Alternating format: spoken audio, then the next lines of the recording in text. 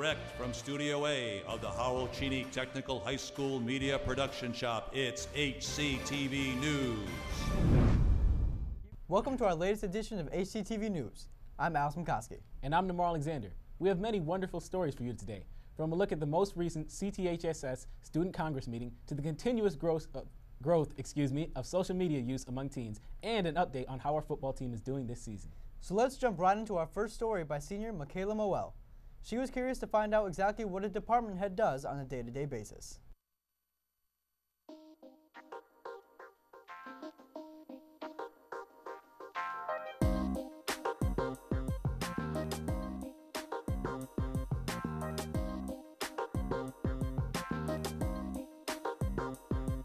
Department heads, some of the most important people at our school, but a lot of students don't know exactly what a department head truly is. So Michaela Moel sat down with two department heads to ask more about their jobs.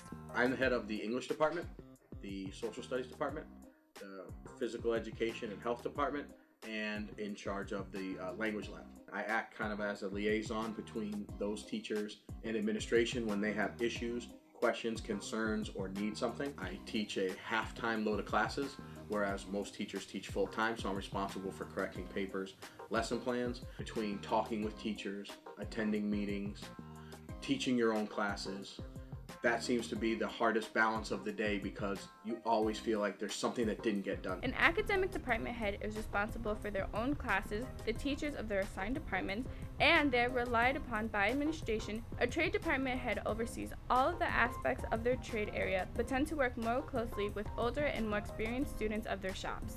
A department head is a lot different from being a, a uh, lab instructor in the automotive department.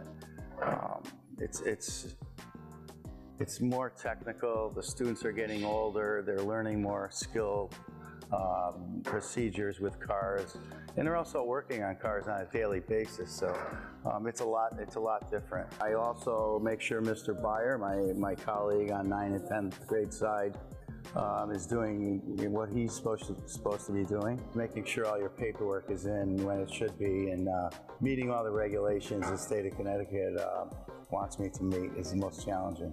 Thank you to all the department heads who go above and beyond for our school every day. For HCTV News, I'm Kelsey Guerrero.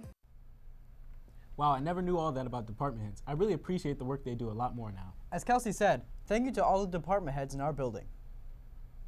At the beginning of this year, we welcomed some new teachers around the building. My co-host, Alex Klimkowski, decided to sit down with some of the newest shop teachers, Mr. Caisse and Mr. Weingarden, to learn more about them. I graduated from Cheney Tech here not all that long ago. Uh, I graduated from the welding shop. I went to Coventry High School, um, and then I went to Technical Careers Institute, and I have done college courses at Central and Three Rivers for my teaching here at this system. Well, there's a number of things that got me into Cheney Tech. Um, one of the things that is probably the biggest one is that um, I grew up in Coventry. And Manchester, this area, is also where I started my service work in HVAC. Mr. Caisse has spent his previous years teaching at schools such as Norwich Tech, Windham Tech, Vinal Tech, Porter and Chester, and Technical Career Institute. He actually started his career in East Hartford while working with a company doing commercial, industrial, and residential service installations. I think there's a connection to the service field because in the service field you're always troubleshooting. You're always trying to fix something and figure out something, and sometimes I go beyond probably what I have to do. But it's the same thing here. Students have problems, you want to figure out how to fix them and, and help them learn how to do it, whether it be just HVAC related or even sometimes in their personal things. You kind of help and guide them in the direction they need to go. My job here is so many worlds apart from what I used to do. Uh, you know, being an iron worker and a welder in heavy construction, I'm used to working outside in the elements all the time, the hot, the cold, the rain, the snow. During high school, Mr. Weingarden was employed at a company called Early Metal Fabrication when he was just 16. When he was 17, he worked at another company called Shepherd Steel. So far, it's great. I think there's a good student body here, definitely down in the shop. Uh, I like all the students that are down here, and uh, it's been very easy for me to get into it. Well, I certainly hope to call this my home until the day that I'm ready to retire. But they do tend to seem like they understand rules and they understand how things are supposed to be and that this is a community that we're supposed to respect each other and I'm really looking forward to spending years here. Though both are new to the Cheney Tech teaching system, they plan to be here for a long time. We're a bit far into our school year, but we'd like to welcome Mr. Caisse and Mr. Weingarden to the Cheney Tech family. We're glad to have such wonderful teachers like you here. Our next story, though a tad late but still great, is about Halloween. Too late? It's never too late or too early to love Halloween. Well then, let's roll our story on the history of Halloween.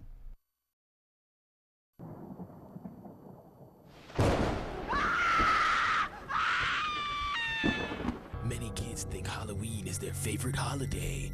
They dress up in all types of costumes and go around their neighborhoods searching for candy. But what exactly is Halloween? Where does it come from? How did it get to be what it is today? The history of Halloween is a mystery. Some think it may have been inspired by a festival that took place about 2,000 years ago called Samhain. Samhain was an end of summer celebration. The leaders of the festival wore animal skins, and many people think that this is where the idea of wearing costumes come from. In the late 1800s, people began playing pranks on Halloween. Nobody really knows why or how it happened, but the idea of playing pranks became really popular and now is a Halloween tradition. In an attempt to stop the vandalism, several town leaders got together and came up with the idea of giving kids candy if they agreed to stop. The kids now expected to get candy on Halloween. Today, these practices still continue, so be careful this Halloween, or you may find your outhouse tipped over or the gates to your farm unhinged. Wow, what an amazing story, especially the narrator's voice. I mean, was that creepy or what? A little too creepy for my liking. So let's fast forward from Halloween to our annual pep rally, which is held before winter break. Here's my co-host Namar Alexander with the story. On December 23rd, here at Cheney Tech, we'll be hosting our annual pep rally. Pep rally is a chance for you to participate in a wide variety of activities and events to show pride for your school. It is always one of the more highly anticipated events at Cheney each year, and this year's pep rally definitely has a lot of hype behind it. Previous pep rallies have featured several immensely popular activities, including the three-legged race, a race in which groups of two students tie one leg to their partner and compete against the other students. The dunk contest is exactly what it sounds like. One by one, students attempt to impress the crowd with their dunks and show off their athleticism. Staff versus student volleyball, the staff and students face off in a volleyball match to prove who is the best. Limbo, this is where students get to show off their flexibility. And trust me, it's a lot harder to win this competition than it looks. The dance-off, although it's not really a competition, it's still very popular. The dance-off is your chance to get on the dance floor and show us your moves. We don't know yet which of our past events will be returning for this year's pep rally, or which new events may be added. But this year's pep rally will certainly be exciting time around Cheney Tech. For HCTV News, I'm Namar Alexander, signing off. I can't wait for the dance-off. Though it's not a competitive activity, it's still a great time. And just think, our cameras will be there to capture all of it. That's right, Namar. Now we have a story about the CTHSS Student Congress who recently met at Cheney Tech for their third meeting of the year. Here's Michaela Moel with the story.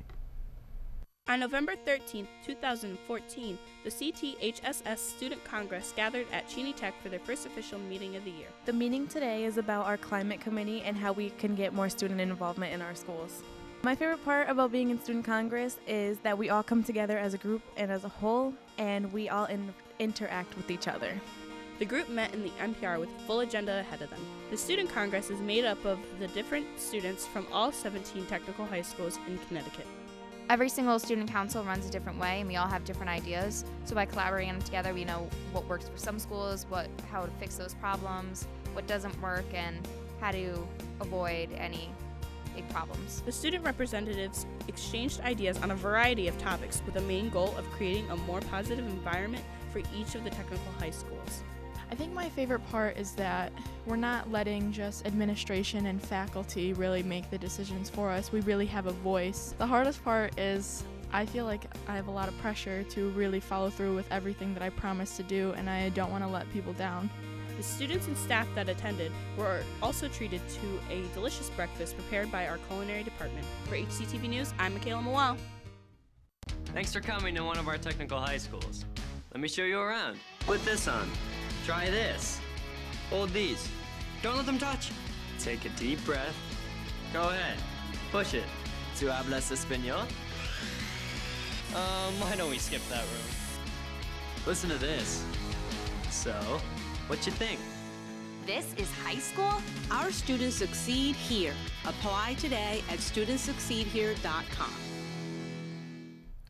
Going to a technical high school and being in the digital media shop We know how dependent people can be on social media, especially teenagers. This next story is about why social media is so appealing to kids in our age group. Over the past several years, social media has grown not only in the number of sites available, but also in membership. A large portion of the user base is teens. For example, Tumblr has not been the most popular social networking site, but it grew in 2011 and now has 90 million users. My favorite social network website is Tumblr. It's my favorite social website because it's funny to read people's posts. Due to recent advances in technology, people are feeling the need to always be up to date on everything that their friends and family are doing, whether or not they live close or far away. Facebook, being the most popular social networking site with about 500 million active users worldwide, is one of the fastest growing and best known sites on the internet today. Facebook is my favorite social website because I get to communicate with family and friends that live far. Users have a variety of reasons to go onto a social networking site. People can contact old friends and meet new people or just to feel more comfortable to talk to a friend through words than to talk to them in person. Sometimes people go onto social websites just to get rid of boredom. I think I spend about seven or eight hours on a social networking site a day.